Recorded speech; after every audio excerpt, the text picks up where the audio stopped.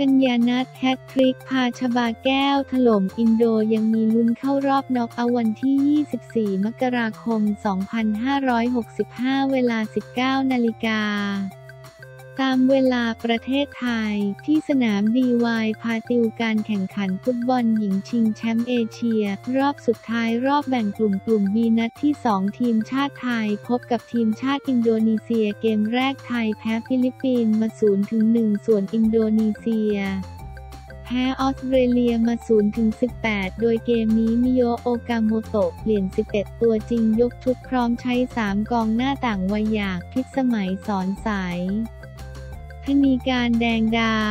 กัญญานัทเชษฐบุตรเล่นร่วมกันเริ่มเกมมานาทีที่ 27 ไทยมาได้ประตูขึ้นนำจากลูกเตะมุมที่วิไลพรบุตรด้วงเล่นสั้นให้จารุวรรณชัยรักเปิดให้กัญญานัทเชษฐบุตรมองเข้าไปให้ชบาแก้วนำก่อน 1-0 และนาทีที่ 36 ธนีการแดงดาหลุดขึ้นมาก่อนไหลให้กัญญานัทเชษฐบุตรล้มตัวยิงเข้าไปให้ไทยนำห่างอินโดนีเซียเป็น2-0และจบครึ่งแรกด้วยสกอร์นี้ครึ่งหลังไทยพยายามบุกอย่างหนักจนนาทีที่ 71 ไทยมาได้ประตูนำห่างเป็น3-0จากจังหวะที่กัญญานัทเชษฐบุตรได้ลองยิงไกลด้วยขวาเข้าไปเป็นแฮตทริกนาทีที่ 76 ไทยมาได้ประตูที่ 4 จนได้จากจังหวะที่กีรวดีมาคริสเปิดบอลยาวและบอลย้อยเข้าไปให้ไทยนำห่างเป็น 4-0 ช่วงเวลาที่เหลือไม่มีประตูเพิ่มเติมจบเกม ทีมชาติไทยเอาชนะทีมชาติอินโดนีเซียไป 4-0 เก็บ 3 แต้มแรก และยังมีโอกาสผ่านเข้ารอบน็อกเอาท์ต่อไป ส่วนผลอีกคู่ออสเตรเลียชนะฟิลิปปินส์ 4-0ทำให้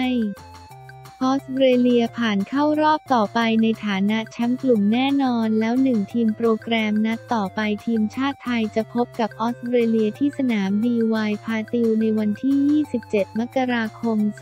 2565 เวลา 21 นาฬิกา ตามเวลาประเทศไทย ถ่ายทอดสดทางแอปพลิเคชัน Eleven Sport รายชื่อ 11 ตัวจริงทีมชาติไทย ดารุณีสอนเผ่า GK วิไลพรบุตรด้วง พิกูลเขื่อนเพชรกิรวดี มาคริส จารุวรรณ ชัยรักกุไรพรยงกุลพมรรัตน์อุดชัย สุนิสา สร้างไทยสงฆ์สีพิสมัยสอนสาย ธนีการแดงดา กัญญานัทเชษฐบุตร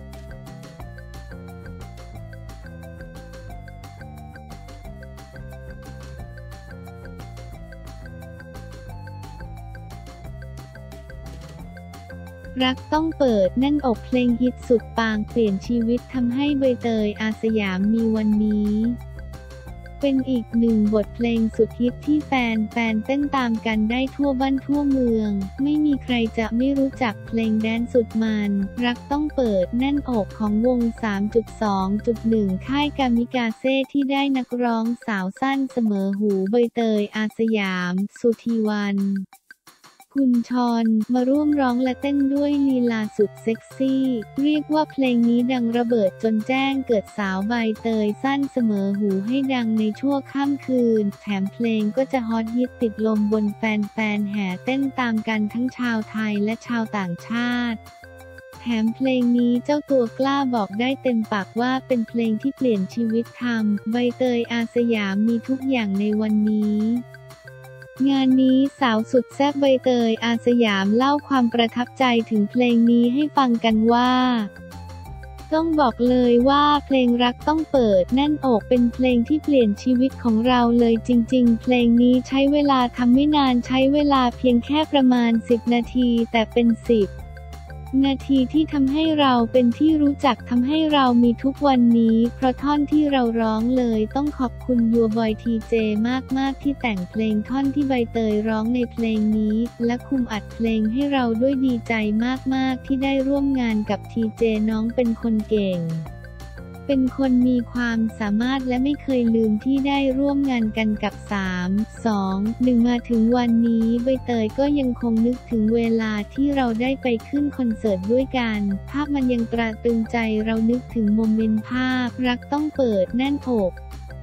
ที่สนุกที่สุดของเราทั้ง 4 คนในวันนั้น ถ้ามีโอกาสก็อยากที่จะได้ร่วมงานกันอีกครั้งค่ะ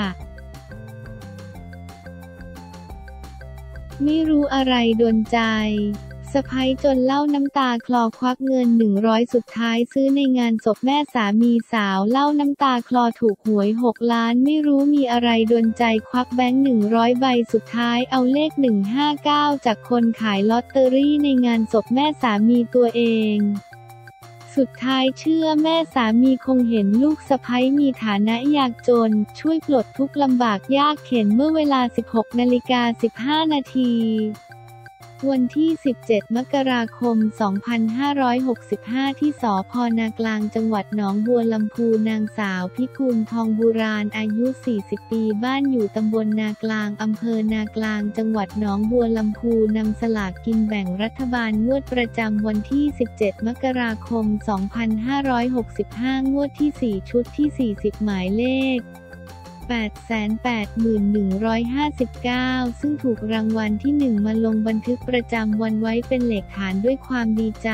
ก่อนนำไปขึ้นเงินรางวัล 6 ล้านบาทนางสาวพิกุลเปิดเผยว่ามีอาชีพทำนาฐานะยากจนก่อนหน้านี้แม่สามีเสียชีวิตลง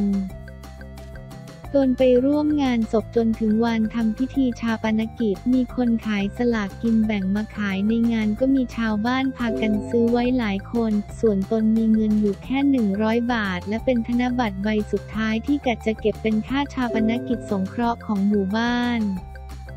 ซึ่งแม่ย่าหรือแม่สามีและกนเป็นสมาชิกของหมู่บ้านอยู่ แต่ไม่รู้มีอะไรดนใจเห็นคนอื่นซื้อตนก็เลยซื้อบ้าง ลูกสะพ้ยคนจนบอกคนขายไปว่าขอเลขท้าย 159 ส่วนเลขหน้าอะไรก็ได้บังเอิญมีจริง ๆ เราจึงซื้อไว้ จนกระทั่งวันนี้เมื่อผลการออกรางวัล ออกมารางวัลที่ 1 มีเลขท้าย 3 ตัว 159 ก็ยังตกใจเมื่อตรวจดูเลข 3 ตัวหน้าปรากฏว่าถูกเลขทั้ง 6 ตัวทั้งตกใจทั้งดีใจมาก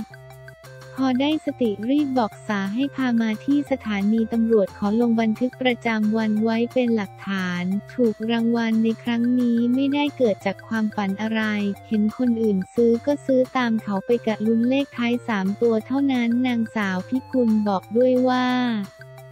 ความโชคดีวันนี้อาจจะมาจากแม่ย่าที่เพิ่งเสียชีวิตคงสงสารลูกสะพ้ยมีฐานะยากจนจึงโดนบันดาลให้ถูกลอตเตอรี่ที่ผ่านมาครอบครัวต้องเอาที่ไร่ที่นาไปจดจำนองกู้เงินธนาคารมาทำธุรกิจแต่ก็ไม่สมหวัง เงินรางวัลที่ได้คงจะปลดทุกข์และไถ่ถอนที่นาคืนมาและจะได้ทำบุญบอกแม่สามี ไม่ต้องวิตกกังวลอะไรแล้วส่วนการเดินทางไปขึ้นเงินที่กองสลากขอให้ภารกิจงานชาปนกิจศพแม่สามีเสียก่อน